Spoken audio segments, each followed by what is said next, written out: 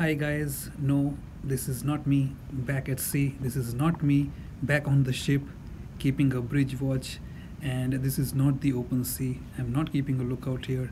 In fact, this is me uh, trying to make some uh, videos on the topic of ECDIS.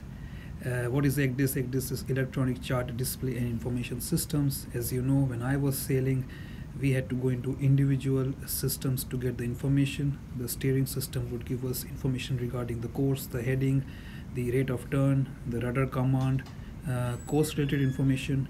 We would have to go into the telegraph to get speed related information whether we were going half ahead full ahead slow stop dead slow astern slow astern.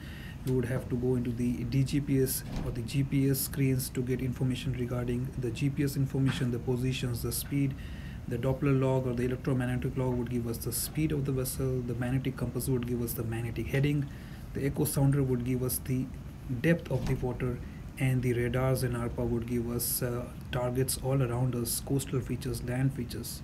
Nowadays, with ECDIS coming in, you just need one single screen.